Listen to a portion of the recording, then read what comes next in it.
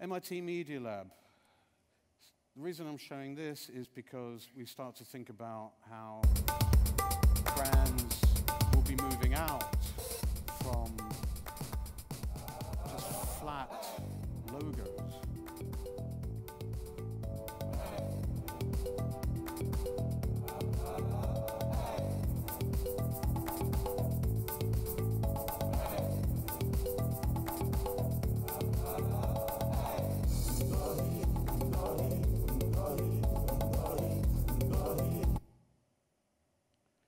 Universal Everything worked with field.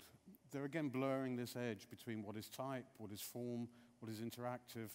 And this is a whole room they created an, an exhibition in Paris where each monitor was a different character that responded individually to a number of different prompts.